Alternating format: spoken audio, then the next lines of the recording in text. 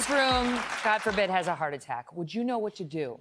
Luckily, ER doc uh, Dr. Sampson, Sampson Davis, is here to show us the basic life-saving skills that can mean the difference between life and death. Doc, good to see you. So, see you. Um, a lot of people do have heart attacks this time of year. Yes. And yes. I think most people are terrified about performing CPR or using an AED. Over almost half our audience had no idea what an AED even is, but it's hugely life-saving. Tell yes, us. Yes, it is. Yes, it is. Uh, 350,000 people will suffer cardiac arrest this year. Mm-hmm. And um, 90% will unfortunately lose their life. And we can save lives. We see that if you jump right in and perform CPR, you have a two to three times increase in saving a person's life. Mm-hmm. So we should go demonstrate and yes. show them. Can I tell you, I have one of these in my office. In my office, I have an AED because they're not cheap. But for the price of, you know, what most of us spend on a vacation, you can get one of these and it really will save your life. And it's so simple. Please, it's so simple. Tell us. So let's start with CPR. If you're in a restaurant, we're having a great dinner, you see someone collapse and they're unresponsive, the first thing you want to do is kneel to the person's side. You want to tap them to see if they're awake or if they're any sort of life response. You want to listen to see if they're breathing, and you want to see if their chest wall is rising. and you want to have someone go call 911. It's so important. Call 911 mm-hmm. right away. And then you want to start CPR. You want to push hard and you want to push fast. And it's very simple to do.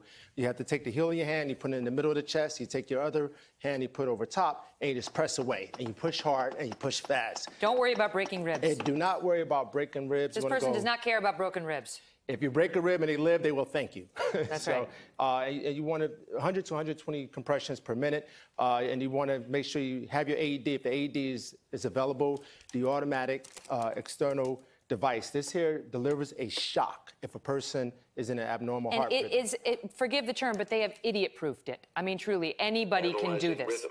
So I just turned it on so we can see. Yep. And you want to place the pacer pads here. Look at the diagram. It shows you. One side of the chest, the other side. And you slap those on. So we put it on the chest, and it's telling... It's you would pull off, you would pull off the sticker part and put it on. The sticker part underneath the shirt. We all are push clear. The shock button. And you push the button. Shock delivered. And Begin it's as, five cycles of CPR. And it's as simple as that. And then if and then obviously it asks to start CPR again, you go back to sort of doing your chest compressions. It walks you well. through how to do it. There's a guy in my building who was fine. He was perfectly fine. He he died. He died of a heart attack. They used an AED on him. He's alive and well and just bought one of these for our building. Truly look into it, okay? Time is hard. Your life. Time is hard. It's very Heimlich important. maneuver. Hi. Oh, wow. This is interesting. This is a great dinner. Hi. Welcome. Is this, Can this we is join Jacqueline you? and Andrew? Yes. Okay. So you're out, you're enjoying steak dinner, and then somebody starts choking. Start choking happens, and keep in mind, I want to have you stand here if I may.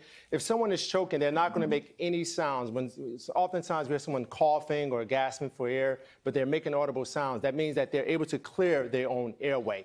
The concern is when someone is choking and they're not making the sounds. That's a true choking incident, mm-hmm. and they usually give you the universal sign, which Totally is I'm, do this. I'm choking. We have Andrew step up here. And so we're going to demonstrate the Heimlich maneuver. You want to take a closed fist, Andrew, bring it around your wife.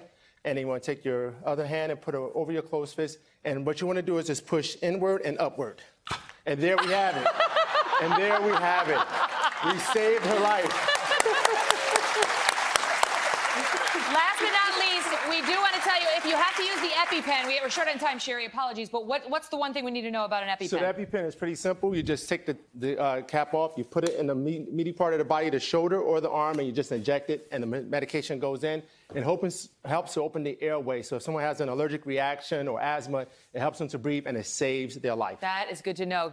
Look into this stuff, truly. This is sadly the season where it happens.